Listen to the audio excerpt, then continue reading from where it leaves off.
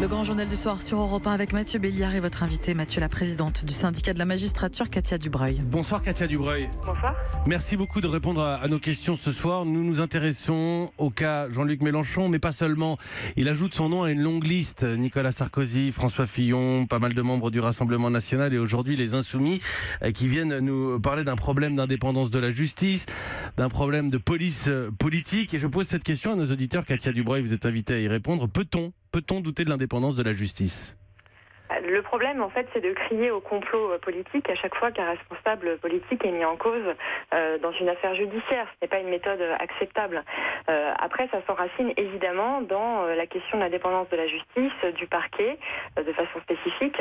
Et il est vrai que lorsque le gouvernement, notamment ces derniers temps, montre qu'il choisit in situ personné euh, le procureur de la République de Paris, euh, que le Premier ministre nous dit qu'il doit être en ligne et, et, euh, à l'aise avec lui, euh, ça pose un problème.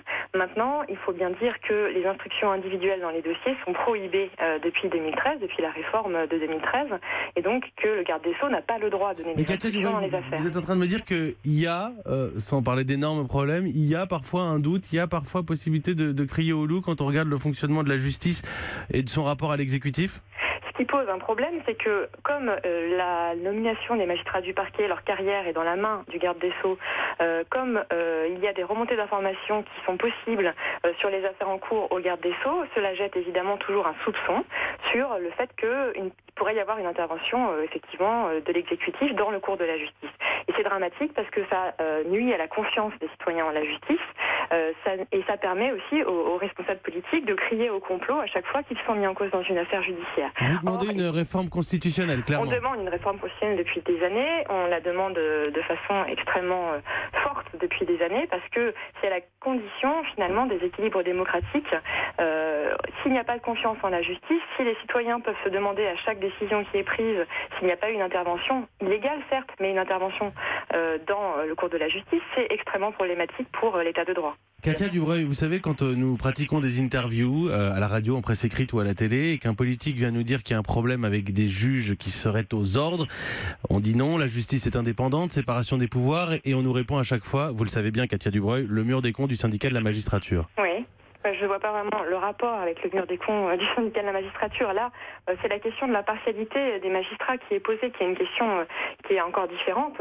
Les magistrats sont impartiaux en raison de leur statut qui, déontologiquement, les oblige à regarder chaque partie avec la distance nécessaire. Le fait que des, des magistrats aient des opinions personnelles, ça c'est un, c'est une évidence. Les magistrats sont des hommes et des femmes comme les autres, donc ils ont des opinions personnelles et ils s'en départissent pour juger. Donc c'est- totalement indépendant. On confond toujours la question des opinions. En l'occurrence, pour ce qui concerne le mur des cons, le fait qu'il y ait eu à l'intérieur d'un local privé euh, l'expression euh, débridée effectivement de d'opinions sur des personnes qui avaient dit euh, certaines choses dans, dans ce local syndical, on confond ça avec la question de la partialité de la justice, mais ça n'a évidemment absolument aucun rapport. Merci beaucoup Katia Dubreuil. Merci d'avoir répondu à nos questions euh, ce soir. Nous avons ce débat et je vous remercie d'avoir parlé en toute transparence, présidente du syndicat de la magistrature ce soir euh, sur Europe 1. Je pose cette question et le débat, nous l'aurons entre 19h et 20h. Peut-on juger de l'indépendance de la justice? 39-21, vous êtes déjà nombreux à appeler le cas Mélenchon, mais pas seulement. N'hésitez pas à prendre la parole.